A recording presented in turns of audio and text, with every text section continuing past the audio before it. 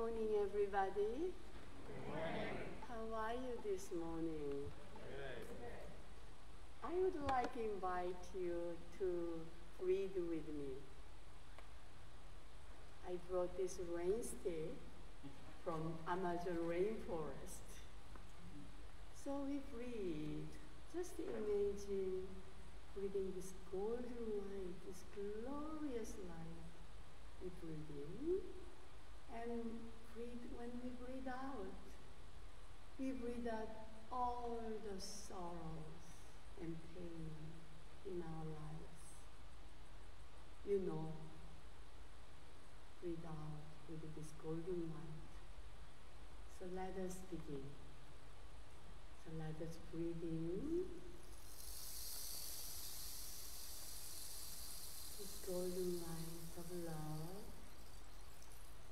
And we breathe out all our sorrows and pain. And we breathe in this golden light of love. And we breathe out all the sorrows, pain, and illness. We breathe more deeply this golden light of love. And we breathe out our pain and sorrow and our illness.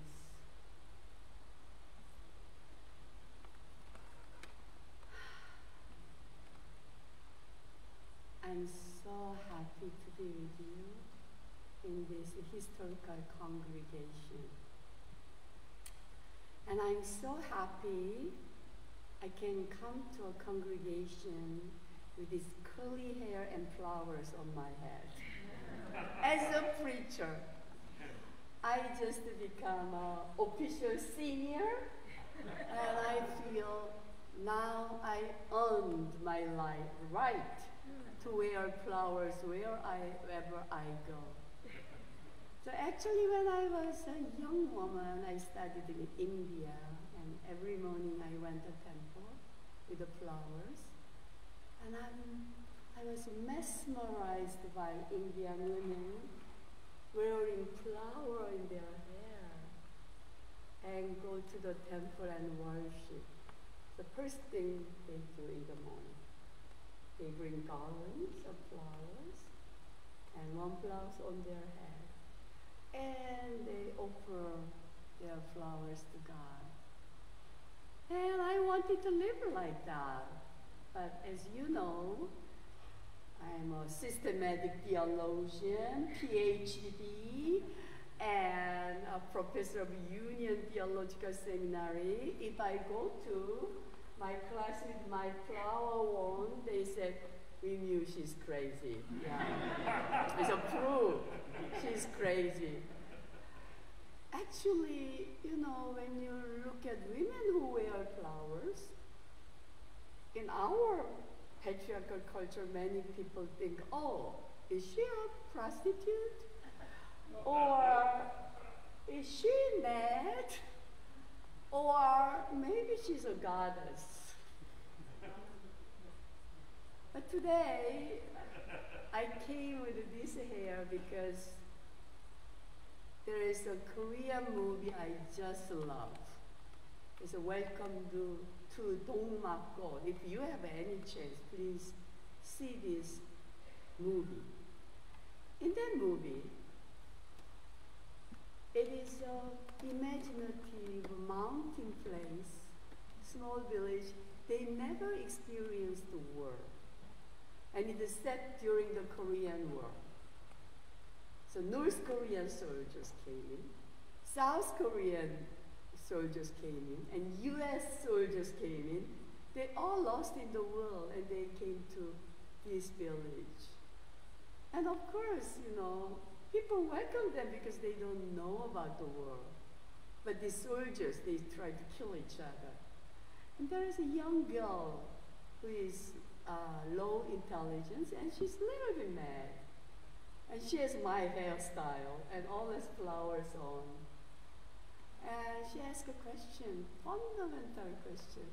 Who are you? Why you are here? And she become friend with everybody. I just saw this movie crying all the time. I'm sure many of you are just into Korean dramas nowadays, like uh, Crash Landing on You, Squid Game, or Pachinko. And there are messages radical in these movies. And what I saw in the movie was through this mad girl with the flowers. She just said with all the soldiers, you are my friend. North Korean soldier, you are my friend. South Korean soldier, you are my friend. American soldier, you are my friend. It's a movie, but what I saw in it is the gospel I heard. I am in you, you are in me. And God sent me, Jesus, to let you know that God is also in you. And God has given me glory, and I want to share this glory with you. What is the glory of God in Johannine Gospel? I love, love, love Johannine Gospel. Why? This is like an Asian gospel to me. When Johannine Gospel is translated into Korean and into Chinese, they said, in the beginning there is words, logos. And they translated literally in the beginning, there's a Tao. I said, bingo, yes, that's my God. In the beginning, there is a Tao. And this Tao, Tao means way. Way of awakening. Way of enlightenment. In the beginning, there's the way, Tao. And Johannine Gospel always talk to us. We only know God. You know, when I teach in systematic theology class, this is epistemology, divine epistemology. How do you know God? Johannine Gospel made it very simple. You know God by loving. That's the only way you know God and you God. I think the glory, that glory Jesus tried to give us, I wonder, what is that glory he wanted to give us? I think what Jesus tried to give us is, you are love. You are divine. Don't forget that. And there's a beautiful word. Because I love you, loved you from the even before the creation. I think this is a Christian cosmology. There is something even we cannot describe, that force made everything possible. That force made this creation. That force made you. That force create our art, our politics, our church, our religion, the divine creative force, which is also love. That is very, very basic teaching of many Asian religions. So, like a Taoism, obvious in the beginning there's a Tao. And the best life is you live according to that Tao. And Hinduism, we are all avatars of God in a way. I chose my avatar this birthday. I said, I will choose Shiva, Lakshmi, and Ganesh. Combination, cocktail. because, you know, I cannot be one. Shiva, radical destroyer and creator. I want to be there. I think I earned that as a senior woman, raising granny now.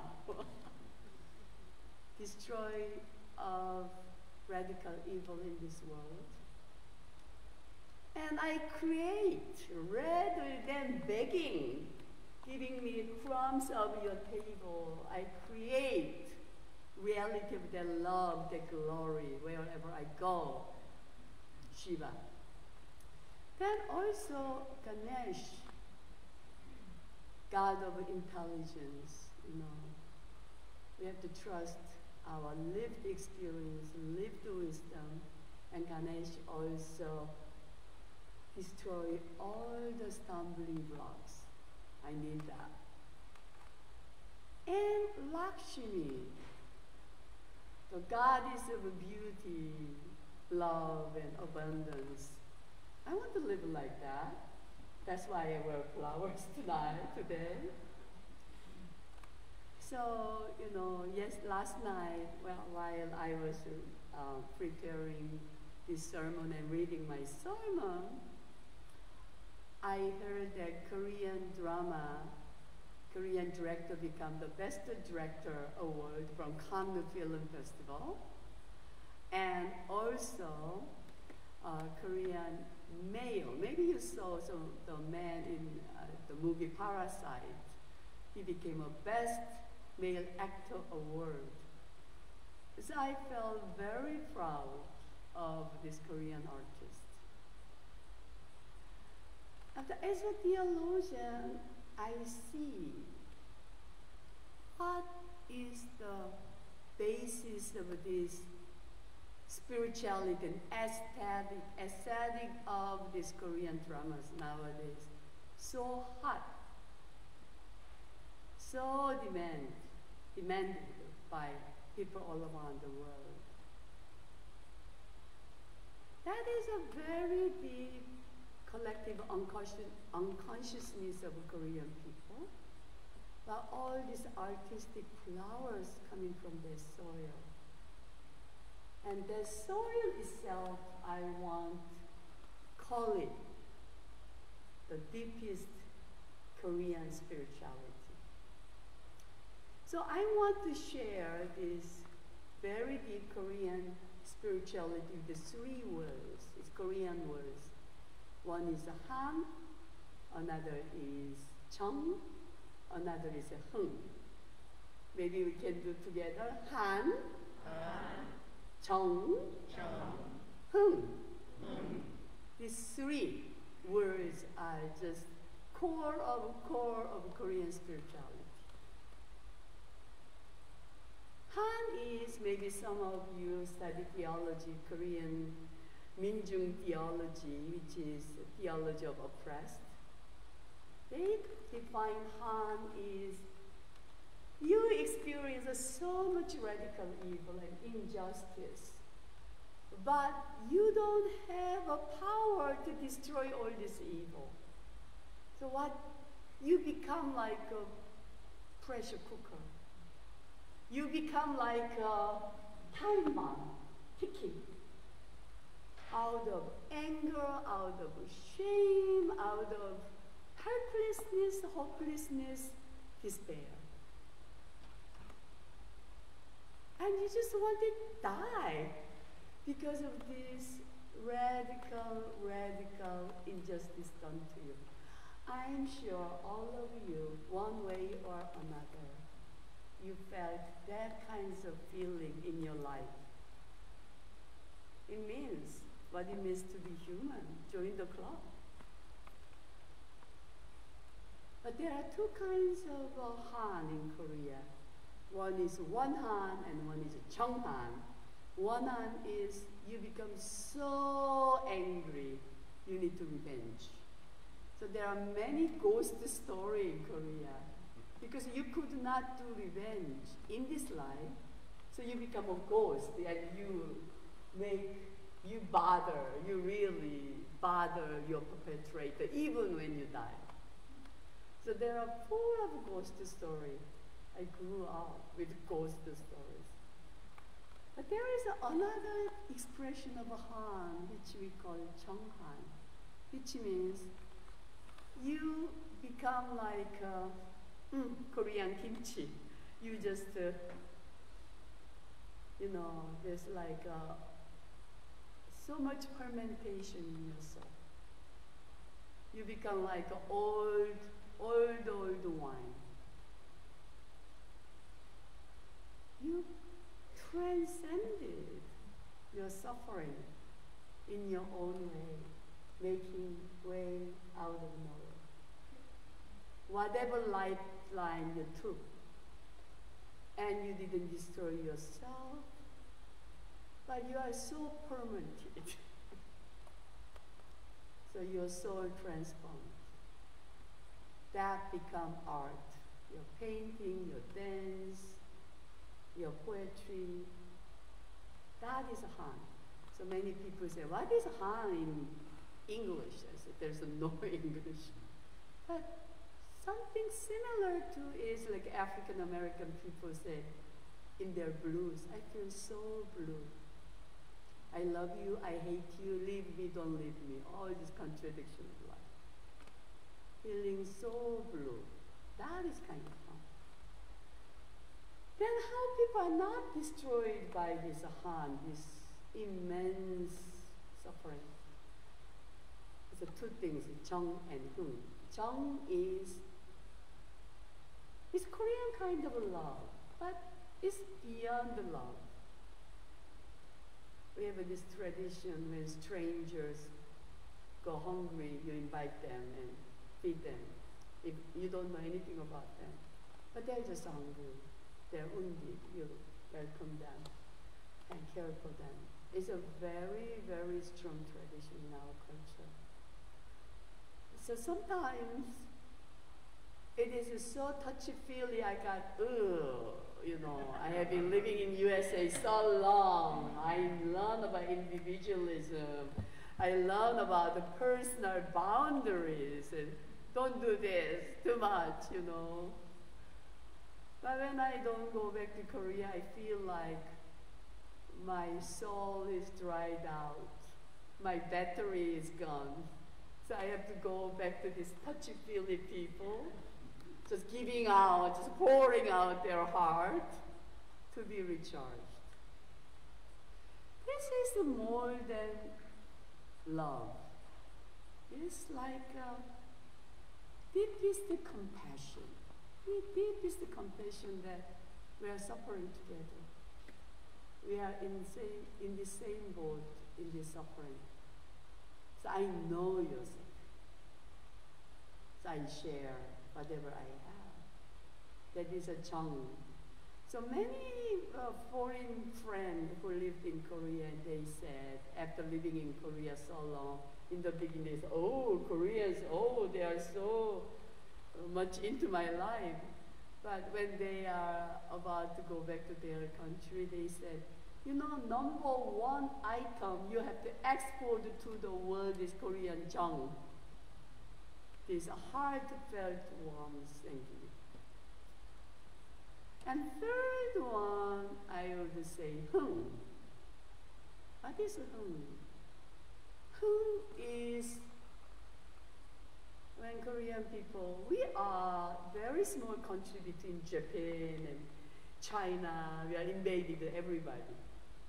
USA, USSR, you know, Russia, in our 5,000 year history, we are invaded more than 3,000 times. So every two years we have a war.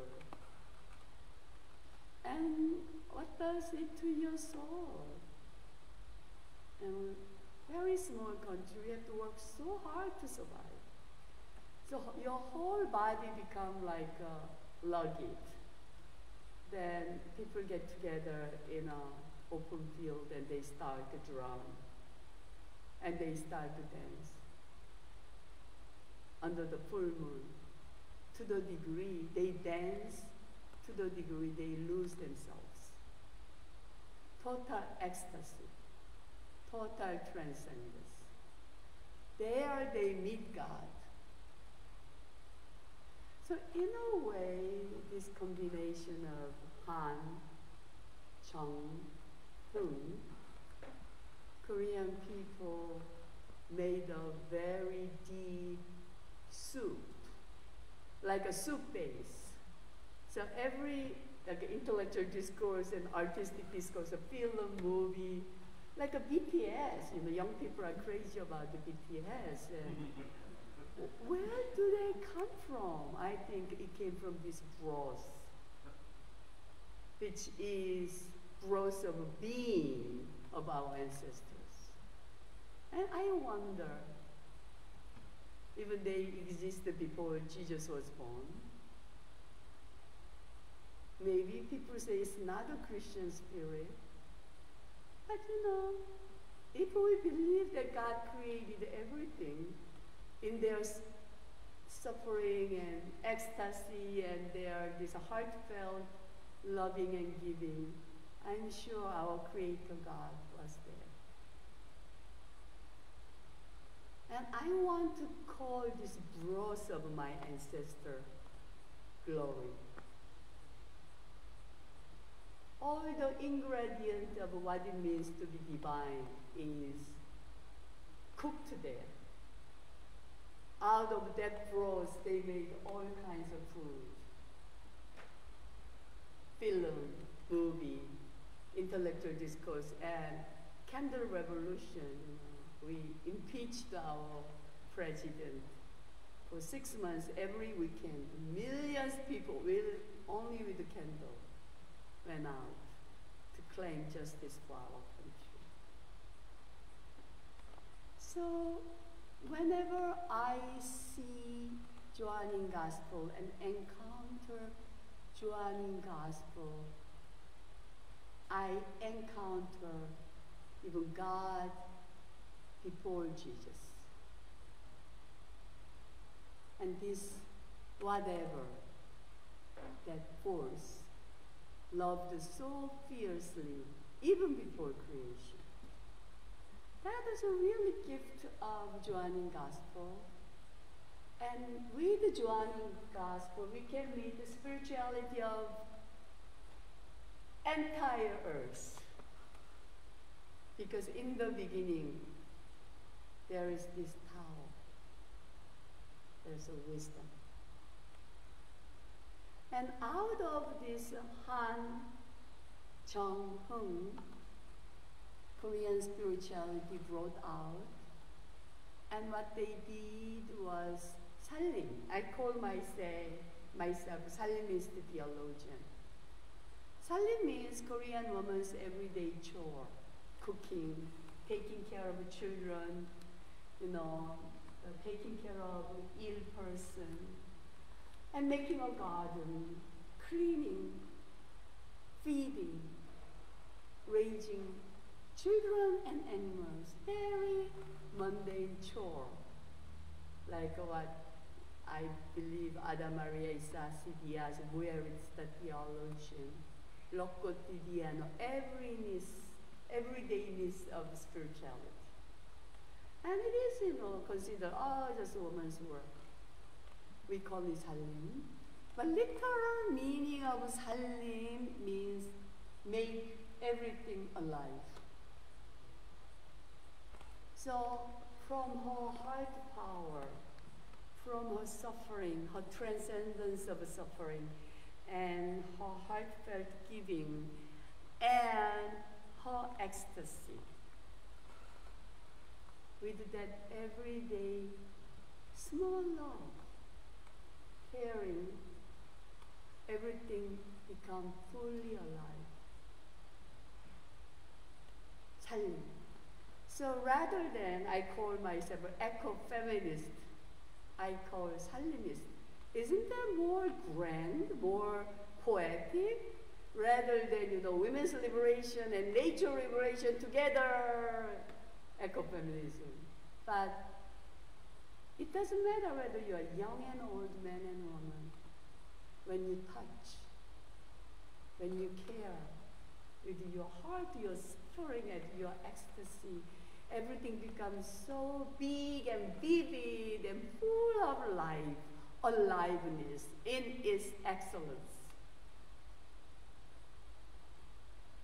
For me, being a Christian means being a Salimist. Wherever I go, even with a small love, small life, I want person I meet or nature I meet little bit more alive. That aliveness, that giving life, that is God.